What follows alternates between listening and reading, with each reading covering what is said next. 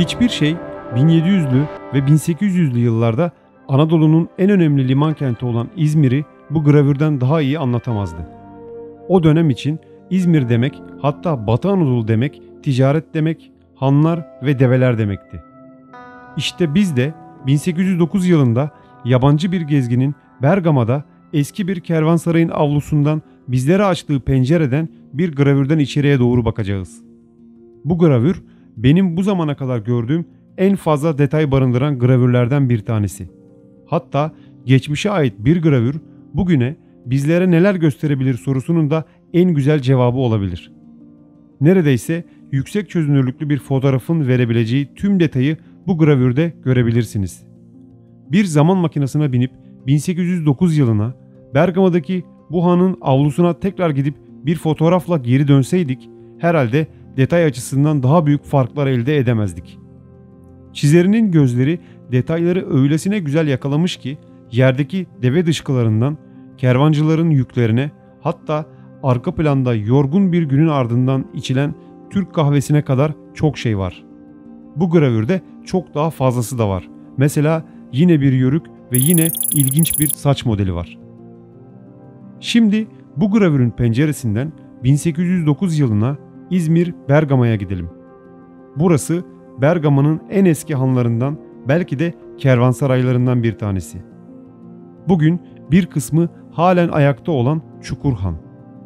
Aslında hanlar ve kervansarayları birbirlerinden ayırmak lazım. Çünkü kervansaraylar adı üzerinde deve kervanlarının da konaklayabildikleri hanlardan daha büyük yapılar. Doğuya has, belirli mesafelerde ve yiyecek içecekten tutun hayvanların beslenmesine kadar çeşitli hizmetlerin sunulduğu yapılar ve en önemlisi güvenlik. Tabi kervansarayları daha iyi anlayabilmek için Büyük Selçuklulara hatta 11. yüzyılda Anadolu'yu kontrol eden Moğollara ve Anadolu Selçuklularına bakmak gerek. Pax Mongolica yani tarihçilerin Moğol barışı dedikleri dönem. Büyük Moğol İmparatorluğu İpek yolunu tamamen kontrol altına alıp özellikle Asya ve Anadolu arasındaki ticari yollarda aksamadan işleyen bir sistemle uzun ve kapsamlı bir yol ve kervansaray ağı kurdu. İşte Pax Mongolica'nın omurgasını oluşturan bu sistemin en önemli özelliği yol güvenliğiydi. Pax Mongolica'nın bilinen en meşhur güvenlik kıstası başının üzerinde büyük bir altın kase taşıyan bir kadının at üzerinde imparatorluğun bir ucundan diğer ucuna soyulmadan gidebilmesiydi. İşte bu rivayet yüzyıllar boyunca İran'da ve Anadolu'da yaşatılmaya çalışıldı. Selçuklular da İranlılar da ticaret yollarının bu güvenlik anlayışını kontrol ettikleri topraklarda benimseyip yaşatmaya çalıştı. Bergama'daki bir handan biraz fazla geriye, Moğollara, Selçuklulara kadar gittim. Ama konu Anadolu ve ticaretse Selçuklular Anadolu ticaretinin parlayan yıldızlarıydı. Bugün Doğu Anadolu'dan İç Anadolu'ya hatta Akdeniz ve Ege'ye kadar halen ayakta kalmayı başarabilmiş Selçuklu kervansarayları var. Bunlardan Anadolu'da bulunan sadece bazıları Aksaray Sultan Hanı, Antalya Alara Han, Antalya İncir Han, Antalya Kargı Han, Denizli Akhan, Kayseri'de Karatay Han, Kırşehir Kesikköprü Hanı ve Konya Obruk Han. Bunlar sadece Anadolu'da günümüze kalmayı başarabilmiş Selçuklu han ve kervansaraylarından bazıları. Ve işte az önce de bahsettiğim İpek yolu geleneğinin Anadolu'daki son izleri. 12. yüzyıldan Osmanlı'ya İran'dan ve Asya'nın uzak köşelerinden Anadolu'ya gelen, Anadolu'dan geçen kervanlar işte bu yollarda ilerleyip bu kervansaraylarda konakladılar. Hatta Selçuklu İran'ında Ribat-ı Şerif gibi onlarca muhteşem Selçuklu kervansarayları da var. Evet, belki biraz uzattım ama işte Bergama'da 1809 yılında avlusunda bu gravürün çizildiği han da bu İpek yolu ticaret geleneğinin bir uzantısı, bir parçası. Ve 1800'lü yılların sonlarına kadar kervanların halen faal olarak kullanıldığı Anadolu'da bu han ve kervansaraylardan irili ufaklı yüzlercesi mevcuttu. Anadolu'da ticaretin kalbinin attığı yerler işte bu hanlardı. Yüzlerce tüccar, deve, gezginler, dervişler, yiyecek satıcıları bu hanlarda konaklıyorlar, bu hanlarda birbirleriyle tanışıyorlar, yeni bağlantılar kurup yeni yollar öğreniyorlardı. Ve en önemlisi kendilerini bu hanların çatısı altında güvende hissediyorlardı. Geceleri han kapıları dışarıya kapatılır ve hiç kimsenin hana girmesine izin verilmezdi. İşte gravürümüzü çizen ressamın da hanın hemen girişinde gözünden kaçmayan kalın zincir bu güvenliğin sembolüydü. Ve diğer yandan az önce bahsettiğim bu kalabalık ve gravürde de gördüğümüz bu hummalı ortam Avrupalı gezginler için Anadolu'da görmek istedikleri en sıcak, en otantik atmosferlerden bir tanesiydi. Ve tabii ki devasa cüsseleriyle çan sesleri eşliğinde sallana sallana han kapısından avluya giren develer oluşan bu muhteşem atmosferin baş kahramanlarıydı. İşte bizlere 1809 yılında Bergama'da bir hana açılan bu pencereyi çizen Avrupalı gravür ressamı da bu manzara karşısında büyülenmiş olmalı. Yoksa önündeki bu atmosferi bu denli ince detaylarla çizmesinin imkansız olduğunu düşünüyorum.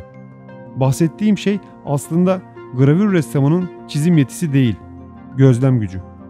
Öyle bir gözlem gücü ki bu detay patlamasını gözünden hiçbir şeyi kaçırmadan kağıda aktarabilmiş. Bu gravür 1809 yılında basılmış bir seyahatnamede yer alıyor. Ünlü Fransız arkeolog ve bilim adamı Choiseul Couffy'nin kendisi kadar ünlü bir gezi kitabı ve seyahatnamesi Voyage Pittoresque de la Greece. Choiseul Couffy'nin Yunan adalarına ve Yunanistan'a yaptığı bu geziye kendisi finanse ettiği arkeolog, gökbilimci ve ressamlardan oluşan önemli bir ekip eşlik ediyordu. Gravürümüzün sol alt köşesinde yazdığına göre gravür ressamının ismi J.B. Hilaire ve kendisi Choiseul Couffy'nin ekibinde bulunan bir ressamdı.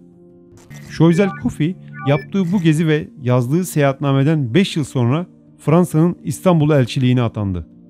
Osmanlı Sarayı ile oldukça yakın ilişkiler kurdu ve Osmanlı İmparatorluğu'nun Fransa'ya verdiği kapitülasyonların genişletilmesinde büyük rol oynadı. Daha sonra arkeolog, gökbilimci, ressam ve gravürcülerden oluşturduğu ekibini daha da güçlendiren Kufi, özellikle Batı Anadolu'ya çok sayıda gezi düzenledi. Yani kısacası önümüzde duran bu güzel gravür Şoyzel Kufi'nin Anadolu gezilerinden bir tanesine ait.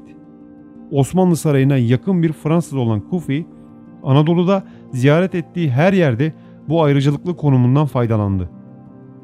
Onu ziyaret ettiği her yerde padişah tarafından kendisine verilmiş fermanlar sayesinde bölge ağasının veya ayanın yanı başında görebilirsiniz. Şimdi 1809 yılına Bergama'ya Çukurhan'a geri dönelim. Gravürün ön planını hanın avlusuna tüccarlarca yığılmış ürünler oluşturuyor. Testiler, zeytinyağları, şaraplar, halatlar, kapkaçak, deriler ve sarıp sarmalanmış diğer ürünler var.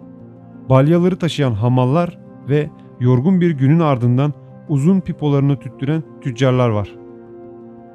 Giyiminden varlıklı bir tüccar olduğu belli olan bir adam bir balyanın üzerine çıkmış ürünlerini satmaya çalışıyor. O zamanlar muhtemelen en iyi reklam ürünlerinizin üzerine çıkıp bağırarak sattığınız ürünleri övmekti. Diğer yandan bana göre gravürdeki en güzel detaylardan bir tanesi ortadaki ürünlerin üzerine yüzüstü uzanarak bizlere ilginç saç modelini gösteren yörük. Daha önce başka bir bölümde 1883 yılında yörükler ve saç modelleri üzerine konuşmuştuk. Eğer izlemek isterseniz o bölüme videonun sağ üst köşesine açılan bağlantıdan ulaşabilirsiniz. Yörüklere ait bu ilginç saç modeli gravürün ressamına da ilginç gelmiş olmalı ki bence saç modelini özellikle vurgulamak için konu mankenini yüzüstü uzanmış halde çizdi. Daha önceki bir videoda 1883 yılında çekilmiş bir yörük fotoğrafıyla benzerliği inanılmaz. Tabii ki hanlarda sadece insanlar konaklamıyordu. Uzun ve yorucu bir günün ardından ağır yüklerini bırakmış develer için de hanlar ve kervansaraylar dinlenmek demekti. Onlar da günün en güzel saatlerini hanlarda geçiriyorlardı. Yüzyıllardır Anadolu'da kilometrelerce yol kat edip yük taşıyan bu hayvanlar hanların sembolleri olmuşlardı. Bugün Anadolu'da çok fazla karşılaşmasak da antik dönemlerden 19. yüzyıla kadar develer İzmir'in simgesiydi. Neredeyse çizilmiş her İzmir gravüründe başrolde develeri görebilirsiniz. Hatta İzmir'in ilk fotoğraflarında bile onlar hep başrolde. Zaten hanların alt katları da tamamen develere ayrılmıştı. Emektar ve sakin mizaçlı bu hayvanlar artık insanlarla bütünleşmiş, ticaretin bel kemiği olmuş ve neredeyse ortak bir yaşam kurmuşlardı. Gravürde de atlardan ayrı insanların yanı başlarında hatta hemen hemen içlerinde olduklarına dikkat edin. Hatta hanın kapısından içeriye henüz girmiş bu develerin gülen yüzleri sanki onları diğer hayvanlardan ayıran bu özelliği vurguluyor. Kervancının yorgun yüz ifadesine dikkat edin. Bunun yanında üzerlerindeki ağır yüklere rağmen yorucu bir günü sonlandıran develerin huzurlu, gülen yüzleri var. Diğer develer de gülüyor. Belki de onlar da her gece konakladıkları bu garip yerlerde başka develerle tanışacak olmanın heyecanını duyuyorlardı. Gravürün bu kısmındaki detaylar göz alıcı. Avlunun arka kısmında büyük bir ocağın göğe yükselen dumanı görülüyor. Yine tam ortada ulu bir ağaç ve çeşme var. Gravürün karmaşasından pek belli olmuyor ama gravürün arka planını kaldırdığımızda aslında ne kadar çok insanın olduğunu anlayabilirsiniz. Diğer yandan 1809 yılında Bergama'da avlusuna misafir olduğumuz bu han günümüzde yukarıdan böyle görünüyor. 14. veya 15. yüzyılda yapıldığı tahmin edilen Çukurhan bugün eski heybetli görüntüsünden çok uzakta. Aslında Bergama ve hanları anlatmakla bitmez. Fakat ben gravürden çok uzaklaşmak istemiyorum. Evet, bu hafta Bergama'da 1809 yılında yabancı bir gezgin tarafından çizilmiş eski bir Anadolu gravüründen içeriye baktık. Geçmişte çizilmiş eski bir Anadolu gravürünün ne kadar güçlü bir görsel zenginliğe sahip olabileceğini gördük. Eski bir gravürün açtığı pencereden içeriye 210 yıl öncesine Bergama'daki bir hanın avlusuna baktık. Amacım Anadolu tarihine farklı bir açıdan gravürlerin, seyahatnamelerin penceresinden bakmak. Bana destek olmak için Uzak Zamanlar ismini verdiğim bu kanala abone olabilir veya Patreon üzerinden destek olabilirsiniz. Diğer yandan Uzak Zamanlar'ın artık bir Instagram sayfası da var.